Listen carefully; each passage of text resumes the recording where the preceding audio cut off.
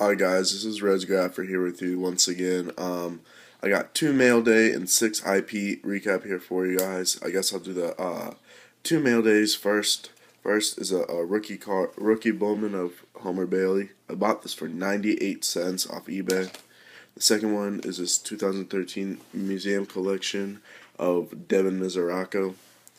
So uh, I got six in person, so I guess I'll start with my least to my highest.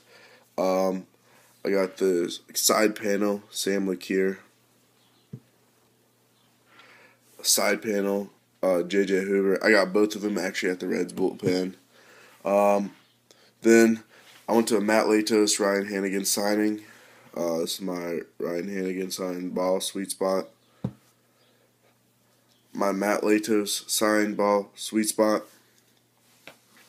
And then uh, when I was at the garage, the one and only Toddfather stopped by. Got Todd Frazier, 8x10.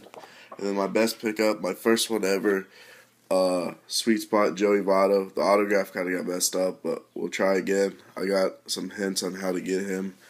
Uh, this is Rez Graffer. Subscribe, like. Have a great day. Happy Memorial Day to all you guys.